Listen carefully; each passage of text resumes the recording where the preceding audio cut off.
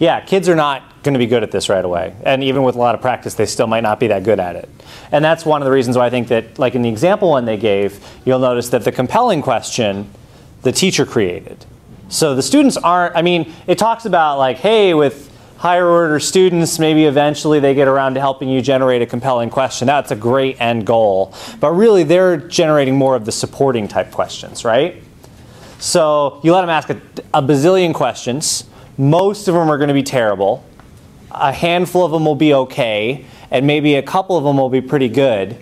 And especially, th this is one of those opportunities you have to, I don't want to say lie to students. Of course, we don't do that um, like my seating chart that I tell them is random, totally random.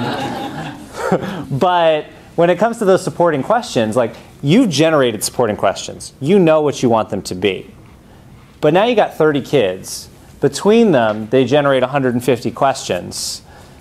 There's a really good chance that at least a few of those are pretty close maybe just need a little bit of retouching to sound a lot like the questions that you knew you wanted to ask them anyway. And now you can say, these are the questions that you guys came up with, so let's look at those. Or you can actually let them come up with the questions and not have them pre-planned. Now, of course, that's where our, personally I go, oh, that makes me really, really nervous because they might come up with great questions and I can't find any resources and then I got to redo all my lessons and it's going to be a disaster. So you got to decide. Some people are much more free form and would, that would not stress them out. That would freak me out real bad.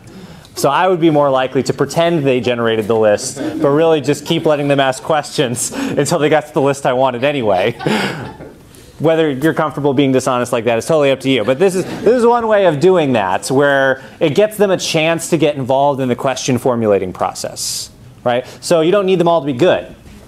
Let's take a look at an example of that, starting with a little description of how it works, and then we'll look at an example from a classroom of it in practice.